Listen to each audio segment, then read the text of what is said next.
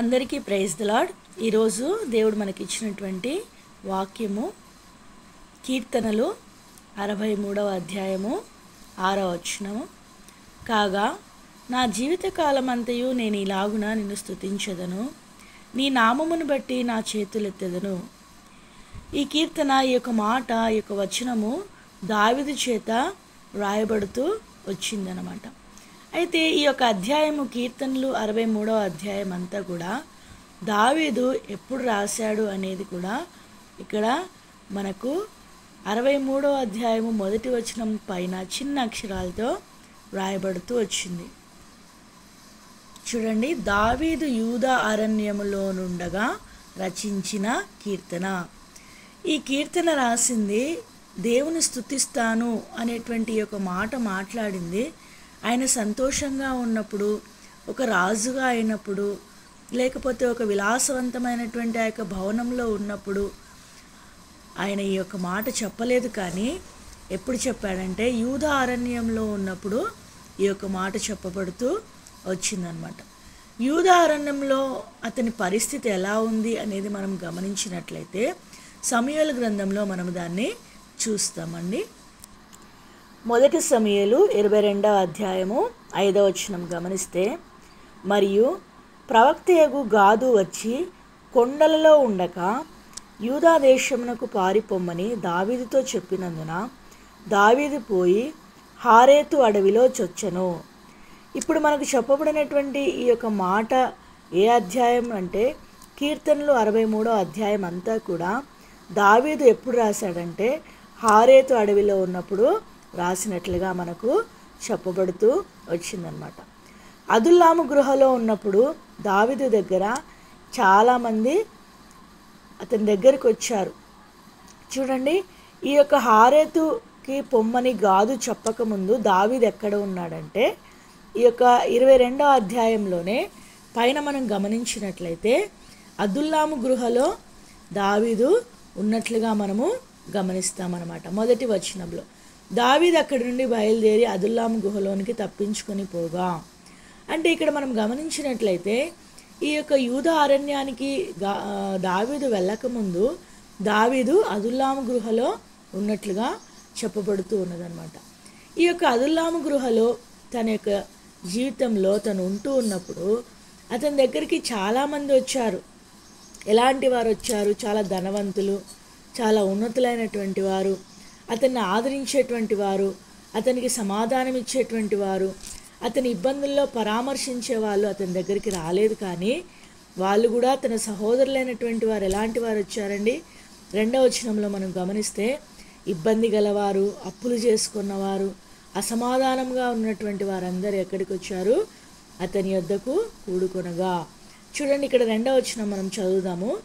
మరియు ఇబ్బంది గల వారందరూ అప్పులు చేసుకున్న వారందరూ అసమాధానంగా ఉండిన వారందరూ అతని యొద్ద కూడుకొనగా అతడు వారికి అధిపతి ఆయను. అతని యొద్దకు ఎక్కువ తక్కువ నాలుగు వందల మంది వచ్చి ఉండిరి. దాదాపుగా అదుల్లాం గుహలో నాలుగు వందల మందితో యొక్క దావీదు ఉన్నప్పుడు గాదు ప్రవక్త అతని దగ్గరికి వచ్చి ఏమని చెప్తున్నాడు?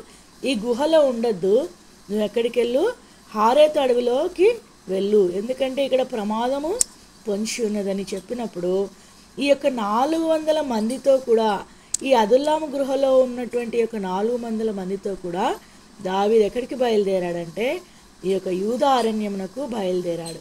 అక్కడ ఈ యొక్క మాటలు మనకు చెప్పబడుతూ ఉన్నాయన్నమాట. ఏం మాటలు చెప్పబడుతున్నాయంటే నా జీవితకాలం అంతయు నేను ఈలాగుననే యెహోవాను స్థుతించదను అని చెప్తూ ఉన్నాడు. ఏలాగు స్థుతిస్తూ ఉన్నాడో మనకు పైన వచనాల్లో వ్రాయబడుతుంది గమనించండి. ఉత్సహించు పెదవులతో నా నోరు నిన్ను గూర్చి గానము చేయుచున్నది. ఉత్సాహంతో ఉత్సాహంతో కూడినటువంటి పెదవులతో తన నోరు గానం చేస్తూ ఉందనట. ఎప్పుడు అతను సుఖంగా ఉన్నప్పుడు కాదు. నాలుగు వందల మంది ఇబ్బంది కలిగినటువంటి వారు అప్పులు చేసుకున్నవారు ఆ యొక్క అనేకమైనటువంటి ఇరుకుల్లో ఉన్నటువంటి వారు దావిదు దగ్గర ఉన్నప్పటికీ కూడా వారిని అందరినీ ఆయన ఆదరిస్తూ ధైర్యపరుస్తూ బలపరుస్తూ ఆ సమయంలో కూడా దేవుడు ఆ సమయంలో కూడా దావీదు ఏం చేస్తున్నాడంటే నాలుగో వచనంలో గమనిస్తే నా మంచం మీద నిన్ను జ్ఞాపకం చేసుకొని రాత్రి జాముల యందు నిన్ను ధ్యానించుచున్నప్పుడు క్రొవ్వు మెదడు నాకు దొరికినట్లుగా నా ప్రాణంను తృప్తి పొందుచున్నది.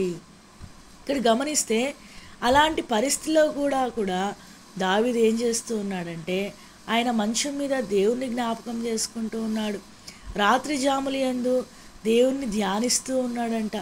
అప్పుడు అతనికి ఎలా ఉందంటే క్రొవ్వు మెదడు దొరికినట్లుగా అతని ప్రాణము తృప్తిపరచబడుతూ ఉన్నది కనుక ఉత్సాహవంతమైనటువంటి ఆ యొక్క పెదవులతో ఆయన నోరు విప్పి ఆయన గానం చేస్తూ ఇంతే ఆయ- అప్పుడే గానం చేయటమే కాకుండా నా జీవితకాలం అంతా కూడా నేను ఇలాగనే చేస్తాను అనేటువంటి మాట మనకిక్కడ తన జీవితంలో తను రాస్తూ ఉన్నాడనమాట. తను మాట్లా తను పలుకుతూ ఉన్నాడనమాట. అంటే సౌలు ఒక బలవంతుడైనటువంటి రాజు రాజుకి ఎదురు ఏదీ లేదు. అలాంటి రాజు చేత తరమబడుతూ ఉన్నప్పటికీ కూడా దావీదు తన దేవుడైనటువంటి యహోవాను బట్టి తన దేవుణ్ణి తను ధ్యానించుకున్నటువంటి కారణాన్ని బట్టి తన దేవుణ్ణి తన యొక్క మంచం మీద జ్ఞాపకం చేసుకున్నటువంటి కారణాన్ని బట్టి క్రొవ్వు మెదడు దొరికినట్లుగా ఆయన ప్రాణము దేవుని వాక్యం చేత దేవుని చేత తృప్తి తృప్తిపరచబడుతున్నటువంటి కారణమును బట్టి ఆయన ఉత్సాహవంతమైనటువంటి ఆయన పెదవులతో నోరు తెరచి ఆయనను గానం చేస్తూ ఇప్పుడే కాదు ప్రభా ఇలాంటి కష్టతరమైనటువంటి ఈ యొక్క పరిస్థితిలోనే కాదు ప్రభా నా జీవితకాలం అంతా కూడా నేను ఇలాగుండే నేను స్థుతిస్తాను నాకు ఎలాంటి పరిస్థితి వచ్చినా కూడా నేను నిన్ను స్థుతిస్తాను అన్నటువంటి మాట దావిదు తన యొక్క నోట నుండి మాట్లాడుతూ వచ్చినట్లుగా మనం ఈ దినము ఈ యొక్క వాక్యం ద్వారా మనం గమనించవచ్చు అన్నమాట తర్వాత రెండవ వచనం మనం గమనిస్తే రెండవ లైన్ మనం గమనిస్తే నీ నామమును బట్టి నా చేతులెత్తదును అని ఇక్కడ దేవుడు ఇక్కడ దావీదు పలుకుతూ ఉన్నాడనమాట. ఇక్కడ దేవుని యొక్క నామమును బట్టి ఆయన చేతులెత్తుతాను అని ఇక్కడ మాట్లాడుతూ ఉన్నాడనమాట. చేతులెత్తుట అనేటువంటిది మనకు రెండు మూడు విషయాల్ని మనకు గమనించవచ్చు అనమాట చూడండి చేతులెత్తుట మనకు దేన్ని చూపిస్తూ ఉందంటే ఇదే కీర్తనలు గ్రంథంలో దావీదు ఇంకో చోట చేతులెత్తేటువంటి విధానాన్ని దేనిగా పోలుస్తూ ఉన్నాడో గమనించవచ్చు. కీర్తనల గ్రంథము నూట ముప్పై నాలుగవ అధ్యాయము రెండవ వచ్చిన మనం గమనిస్తే పరిశుద్ధ స్థలం వైపు మీ చేతులెత్తి యహోవాను సన్నుతించుడి. ఈ చేతులెత్తుట అనేటువంటి ఈ యొక్క మాట అక్కడ దేని గురించి రాయబడుతూ వచ్చిన్నదంటే దేవుని స్థుతిస్తూ ఉన్నాడనమాట యహోవాను నేను స్థుతిస్తూ ఉన్నా యహోవాను సన్నుతించుడని మనకు చెప్తూ ఉన్నాడు ఇక్కడైతే. కానీ అక్కడ ఆయన చేతులెత్తి దేవుణ్ణి ఏం చేస్తూ ఉన్నాడంటే సన్నుతిస్తూ ఉన్నాడు. ఆయన చేతులు ఎక్కడి వైపు ఎత్తుతూ ఉన్నాడు? పరిశుద్ధ స్థలం వైపు తను ఎత్తాడు గనుక. పరిశుద్ధ స్థలం వైపు తన చేతులు ఎత్తగలిగినటువంటి ఆ యొక్క కారణాన్ని బట్టి ఈ యొక్క నూట ముప్పై నాలుగవ అధ్యాయం రెండవ వచనంలో మనకు ధైర్యంగా చెప్తూ ఉన్నాడు అనమాట పరిశుద్ధ స్థలం వైపు మీ చేతులు కూడా ఎత్తి యహోవాను సన్నతించండి. మీకు ఎన్ని ఇబ్బందులున్నా ఎన్ని కష్టాలున్నా ఎన్ని ఇరుకులున్నా నాకంటే పెద్ద కష్టాలు మీకు రాలేదేమో రాకపోవచ్చు. ఆయన నాకు వచ్చినటువంటి కష్టాలు చాలా ఎక్కువ. ఆ కష్టాల ఆ కష్టాలకు మించినటువంటి కష్టాలు మీకు లేవు కనుక నీకు ఎలాంటి కష్టాలు ఉన్నా కూడా నేనే చేతులెత్తి సన్నతించినటువంటి కారణాన్ని బట్టి నేను ఈ దినాన సన్నతించ దేవుణ్ణి స్థుతిస్తూ ఉన్నాను గనుక మీరు కూడా మీ ఇబ్బందుల్లో ఆయనను స్థుతించండి ఆయన పరిశుద్ధ స్థలం వైపు ఆయన మందిరం వైపు ఆయన ఎక్కడున్నాడో అక్కడ ఆయన వైపు చేతులెత్తి మీరు ఆయనను సన్నతించినట్లయితే మీరు ఎలాంటి పరిస్థితిలో ఉన్నా కూడా మీకు ఏం జరుగుతుంది?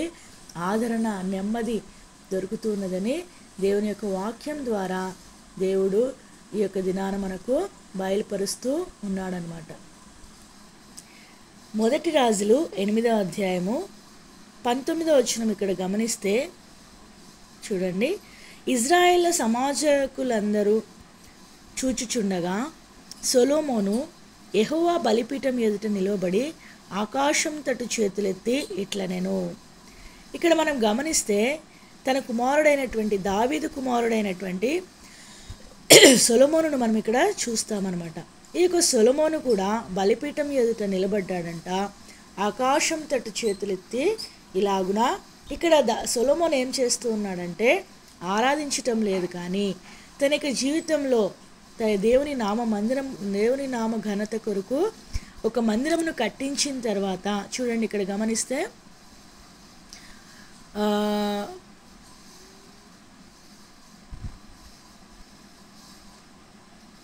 పంతొమ్మిదవ వచనంలో మనం ఇందాక చదివినటువంటి వచనము ఇరవై రెండవ వచనము ఇప్పుడు పంతొమ్మిదో వచనం గమనిస్తే దేవుని నామం ఘనత కొరకు మందిరమును కట్టించిన తర్వాత దా సొలమోన్ ఏం చేస్తున్నాడంటే దేవునికి తన చేతులెత్తి ఆకాశం వైపు తన చేతులెత్తి ప్రార్థిస్తూ ఉన్నాడనమాట దావీదు తన యొక్క జీవితంలో చేతులెత్తేటువంటి ఆ యొక్క అనుభవాన్ని తన కుమారుడైనటువంటి సొలమోనుకు కూడా అనుభవపూర్వకంగా దాన్ని నేర్పించినట్లుగా మనం ఇక్కడ గమనించవచ్చు.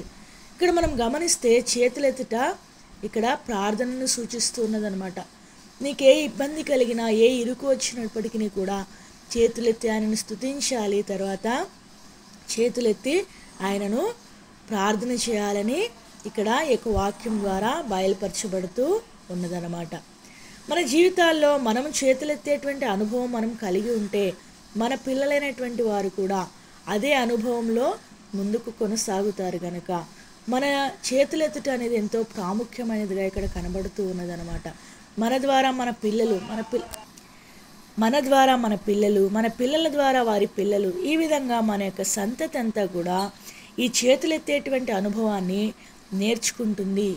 నీ వల్ల నీ సంతతంతా దేవునికి చేతులెత్తే అనుభవం కలిగి ఉంటే నిజంగా నువ్వెంతో ధన్యుడవు ధన్యురాలుగా చేయబడతావు అనమాట కావున మనం కూడా దావీదు వలె చేతులెత్తేటువంటి అనుభవాన్ని కలిగి ఉండాలని దేవుడు ఇది నానా కోరుతూ ఉన్నాడనమాట పరిశుద్ధ స్థలం వైపు చేతులెత్తి సనుతించేటువంటి వారంగా ఆకాశం తట్టు చేతులెత్తి ప్రార్థించేటువంటి వారంగా మన జీవితాల్లో మనం కూడా ఉండాలని ప్రభు కోరుతున్నాడు ఇంకా చేతులెత్తుట అనేది ఇంకా మనకి ఏం చూపిస్తుందో మనం గమనిద్దాము. దేవుని వాక్యంలో ఎజ్రా గ్రంథంలో కూడా ఎజ్రా తన చేతులెత్తి దేవునికి ప్రార్థించినట్లుగా మనము చూడవచ్చు అన్నమాట తర్వాత ఇక్కడ గమనించినట్లయితే నిర్గమాకాండం పదిహేడవ అధ్యాయము పదకొండవ వచనంలో మోషే తన చేయి పైకెత్తినప్పుడు ఇజ్రాయేళ్ళు గెలిచిరి.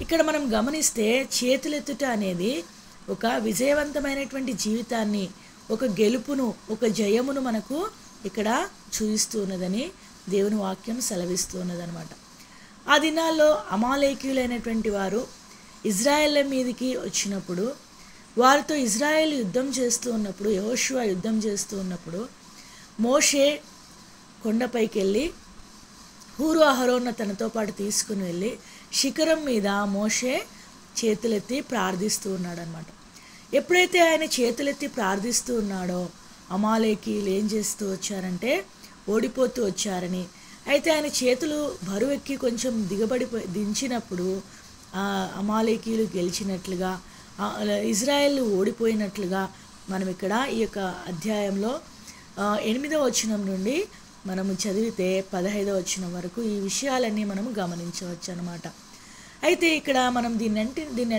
దీన్ని బట్టి మనం అర్థం చేసుకోవాల్సినటువంటి విషయం ఏంటంటే చేతి చేయి పైకెత్తుట చేతులు పైకెత్తుట అనేటువంటి యొక్క అనుభవం ఏమి మనకి జ్ఞాపకం చేస్తున్నదంటే విజయవంతమైనటువంటి జీవితం.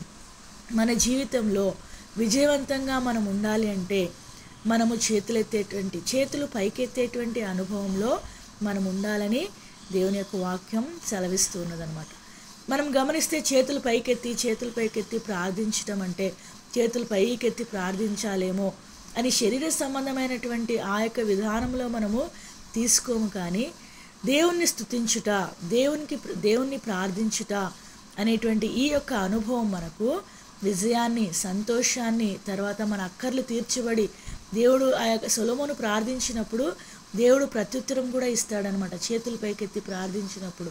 ఆ విధంగా ప్రార్థనకు జవాబు కూడా మనం పొందుకోగలుగుతాము.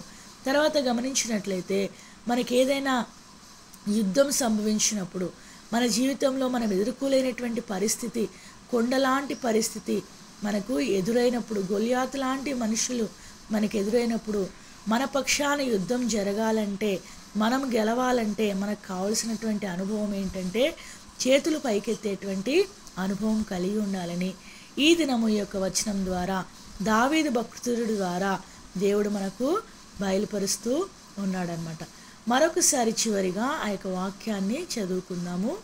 కీర్తనలు అరవై మూడవ అధ్యాయము ఆరో వచనము.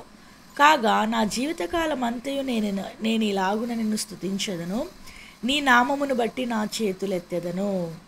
ఇలాంటి అనుభవం మన జీవితంలో కూడా కలిగి ఉండాలని దేవుడి దినాన మనల్ని కోరుతూ ఉన్నాడనమాట దేవుడు మనకి ఇచ్చినటువంటి కొన్ని మాటలను దీవించి ఆశీర్వదించునుగాక. ఆమెన్.